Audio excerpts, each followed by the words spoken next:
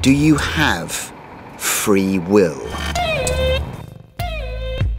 Or is free will an illusion created by the brain? Is it merely the product of external circumstances acting on a complex system? This eight and a half pounds of electrified pate. I think we have to um, content ourselves with mystery and some, sometimes, although much of science is to do with um, the elimination of, of, of certain aspects of it. Now, I don't know if there are mysteries or not, but if you're a scientist, you want to avoid believing in the mystery until you have to. Shakespeare, notably in the plays, people who fall in love very rarely speak to each other at all until after they've fallen in love. He never ever tries to say why they've fallen in love. They just fall in love and.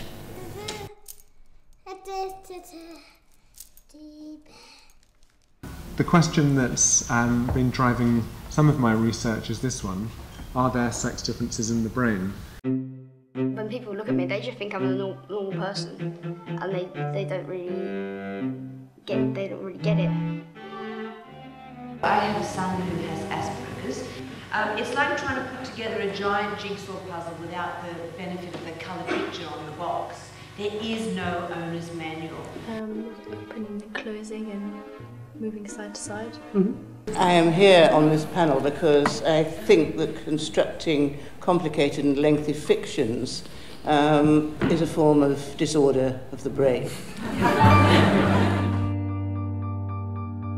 I'm not criticising the experiment, I'm just saying the experiments don't say that we don't. I can, I can argue that we don't have free will without performing the experiment.